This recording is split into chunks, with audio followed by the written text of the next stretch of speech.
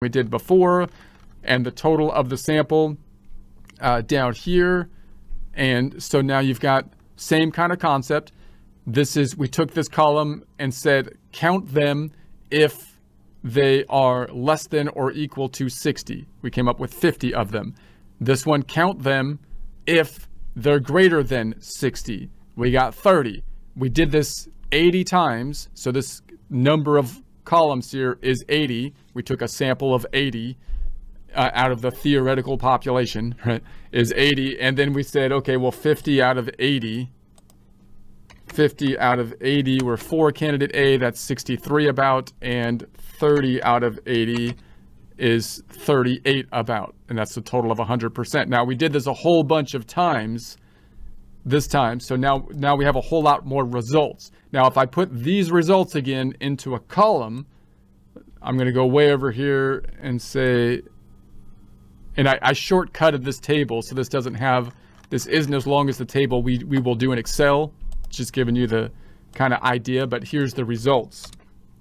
So now we've got uh, uh, the results, uh, the percents, and we did this a whole bunch of times. You can see boom, boom, boom, all the way down to here. And then we took the average. So we did it a whole bunch of times this time and we compare each one to the expected, and then this is the difference. Now, and then you can basically kind of make histograms. So this is a histogram of uh, the percent results that we've got from testing it a whole bunch of times.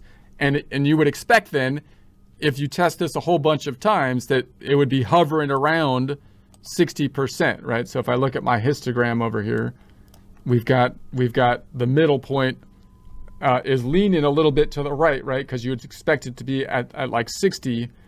And so it's interesting then to look at your results and see how the histogram, as you as you look at larger results and try to make a histogram out of it, then then look at start to look at the structure of the histogram as you as you do this uh, and have more results that you're that you're adding to it because you would think that then the form should get close to the theory. In, in our case, because we did kind of a mathematical kind of concept and we took it everything below uh, 60%, we took a random draw.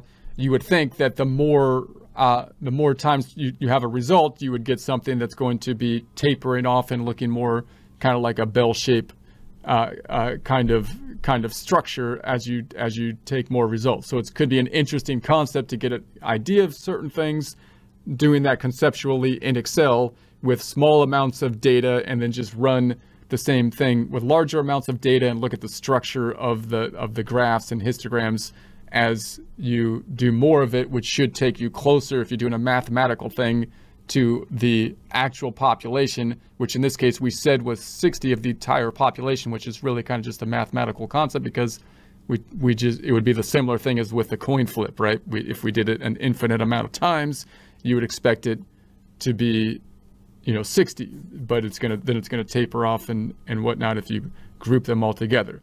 So uh, there's that one.